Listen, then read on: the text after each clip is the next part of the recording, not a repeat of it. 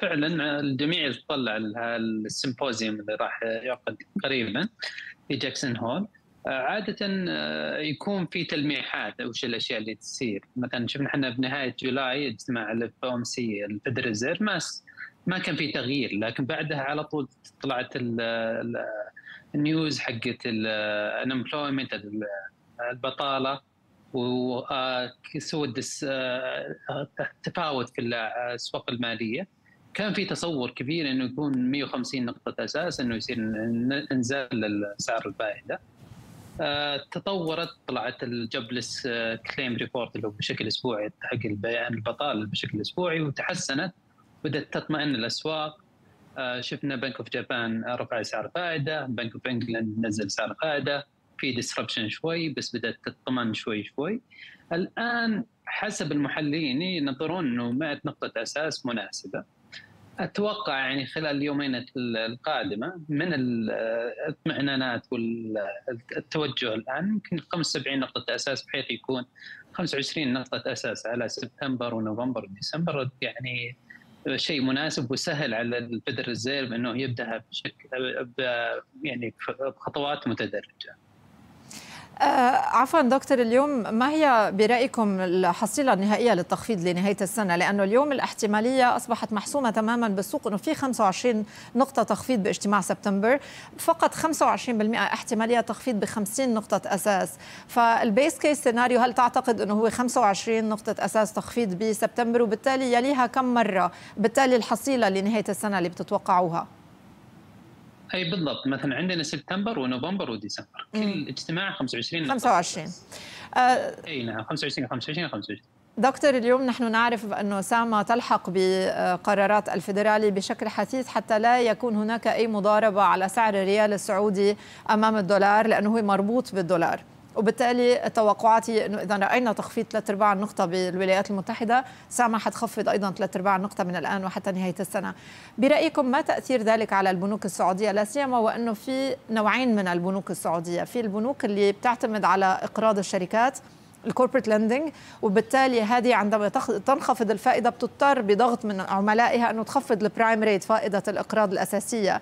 البنوك اللي عندها mortgage lending أعلى وتمويل للأفراد ما بتتأثر بنفس النسبة لأنه بتكون هي مثبتة أسعار الفائدة عليها. وأيضا ال deposit base بيختلف من بنك لآخر. البنوك الإسلامية بيكون عندها deposit base لا يدفع الفائدة. فبالتالي أعطيني وجهة نظرك تأثير التخفيض بثلاث أرباع النقطه المئويه على هذين النوعين من البنوك بالسعودية. إي نعم عادة زي ما تفضلتي البنوك اللي تركز على الشركات أو عموما على الشركات إنه يصير في repricing كل ثلاث شهور إلى ست شهور.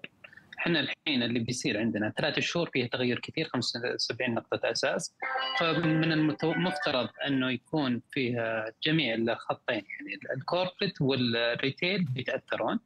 ال retail أقل من ال corporate لكن وبرضه بشكل إيجابي إنه راح يصير عندهم ال margin cost آه، يقل بسرعة أكثر من ال interest rate اللي النزول في ال margin cost يكون أسرع بكثير من آه، أسعار الفائدة المعطاة فبالتالي يحصل أرباح أكثر من ناحية ال retail أكثر من ال corporate السرعة في هذه تحصيل أو تعديل الأسعار الفروقات بين ال corporate وال retail يكون راح يكون لصالح ال corporate يكون السرعة بتعديل الأسعار بالتالي تنقص تناقص ال margin أو الأرباح هوامش الارباح أكثر في ال corporate أو في الشركات.